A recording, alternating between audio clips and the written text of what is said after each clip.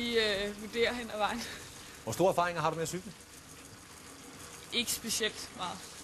Hvor store erfaringer har du med at møde bjerge? Nu er der ikke så mange bjerge i Danmark, vel? Så du har aldrig mødt et? Et på øh, La Santa Sport, da jeg var med i stjernetræf. Men øh, det er vist også det, jeg har cyklet op af. Hvad med dig, Lasse?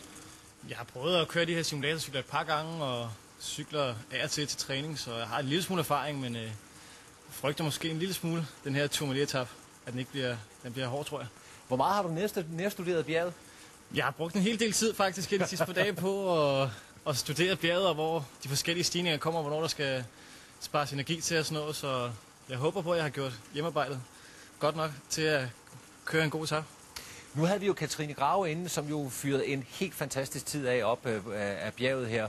Du dyrker samme idrætsgren som hende. Vil vi se dig kunne køre noget eller hende, eller hvad? Ej, jeg er ikke sikker på, at jeg kan køre lige så hurtigt, som Katrine gjorde. Øh, Hun er, har lidt længere distance i benene, end jeg har, men øh, det ligger jo lidt pres på mig, øh, at hun har kørt den hurtigste tid. Men øh, jeg håber da på, at jeg kan køre i top 3, men øh, nu må vi se, hvad dagen bringer. Hvad frygter du mest for det her? Altså, jeg har hørt, at den stiger voldsomt til sidst.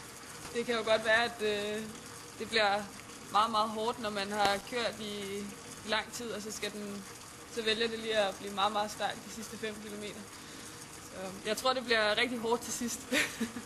I sidder og triller lige så stille på cyklerne her. I må gerne nu begynde at træde lidt mere til i pedalerne og få lavet den helt øh, seriøse opvarmning. Og så sætter vi jer i gang inden så længe på vej op ad bjerget her og kommer naturligvis tilbage og følger dem på deres opstigning af Tourmalet. Her